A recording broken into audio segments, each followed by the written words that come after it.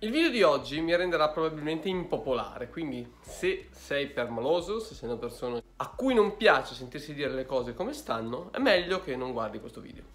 Ho purtroppo eh, visto in questi giorni su diversi gruppi di elettricisti e professionisti di cui faccio parte su Facebook condividere e ricondividere la notizia della eh, perdita da parte di una nota multinazionale, Verisure, delle registrazioni di una piscina dove è morta una bambina. E eh, installatori che hanno ricondiviso anche sui propri profili personali, come dire, guarda questi, guarda che bella cosa che hanno combinato, guarda come sono bravi. Personalmente trovo questo genere di sciacallaggio su notizie del genere veramente riprovevole ed è quello di cui voglio parlare nel video di oggi.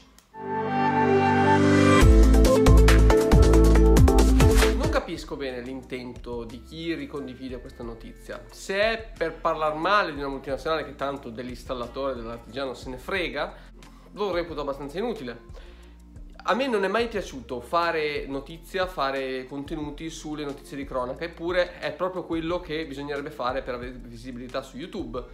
Si sarebbe potuto fare un video bellissimo dal punto di vista tecnico sulle immagini del Ponte Morandi che sono uscite dopo un anno, le avrete viste tutte sul perché non è vero che c'è stata una manomissione, sul perché tecnico del più frame, più frame a seconda del, dei secondi, si sarebbe potuto fare un video bellissimo e avrei risposto a tutti i complottisti del mondo molto volentieri. Non l'ho fatto perché non mi piace attirare visualizzazioni parlando di incidenti, parlando di gente che è morta. Ora, il fatto che Verisure in questo caso, ma chiunque sbagli, abbia commesso un errore, non vi farà vendere neanche un impianto in più. Ma soprattutto, perché questi signori vendono e voi no? Siete davvero sicuri che è perché esistono loro che non vendete voi? Non è assolutamente così. Il motivo principe per cui questi signori vendono è la loro preparazione commerciale.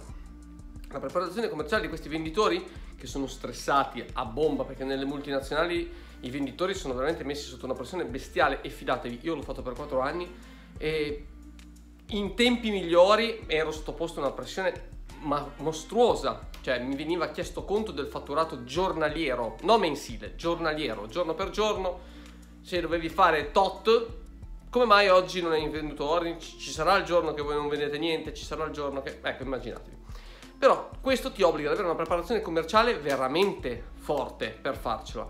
Per cui entrate dal cliente, mi capita spesso che molti di voi sono dal cliente e davanti al cliente in sede di preventivo mi telefonano per dire ma l'allarme fa questo? Ma possiamo vedere le telecamere sul telefonino? Ma possiamo fare questo davanti al cliente? Ora, vi pongo uno scenario simile. Siete sulla poltrona del dentista, che per me, come voi già sapete, Ehm, è uno degli incubi peggiori e il vostro dentista apre la bocca e comincia a chiamare un collega, a chiamare un altro collega, a chiamare quello di là, secondo te cosa ne pensi, ma qui cosa facciamo? Vi si stringerebbe non dico che cosa, no? Dice questo mi sta per mettere un trapano in bocca e non ha idea di che cosa ho. Ora, immaginatevi la stessa scena da parte dei vostri clienti. Voi dovreste vendere sicurezza e già in fase di preventivo non sapete niente. Lasciamo perdere la qualità del servizio, il fatto che l'impianto non sia loro, il fatto che questi signori eh, rateizzando incassano più di voi per un impiantino, sono tutte cose verissime, ma questo il cliente non lo sa. Il venditore di Verisure trasferisce sicurezza, voi no. Punto. Quindi se non ci fossero loro ci sarebbe qualcun altro più preparato commercialmente, più preparato tecnicamente, più preparato in generale, ma soprattutto commercialmente. Molti installatori, anche i miei clienti, in fase di preventivo non trasmettono sicurezza, che non vuol dire che se uno è bravo commercialmente gli impianti li prende tutti, non li prendono neanche questi signori, eh? state tranquilli, se no andremo tutti a fare i venditori per loro e saremo tutti più ricchi. Bisogna essere sul pezzo, bisogna essere preparati, non è parlando male di loro o sciacallando su notizie drammatiche che venderemo di più, ma studiando, studiando, studiando. Ma io con il mio impianto vorrei integrare Google Home. Giusto, sbagliato, faccio un esempio, non prendetelo per, per dal punto di vista tecnico. Posso farlo? Sì, no, subito, risposta sul pezzo. Molti di voi non lo sanno. E via dicendo. Tantissime, tantissime telefonate a me che sono un ragazzo, che sono da pochissimo nel settore rispetto a molti miei clienti e che sono un cacchio di banconista, perché poi questo sono. Come faccio a sapere io qual è il migliore sensore da esterno per quella installazione da dentro il mio ufficio? Queste sono le cose che non fanno vendere gli impianti, la mancanza di trasparenza, la mancanza di sicurezza, la mancanza di preparazione sin in sede di preventivo.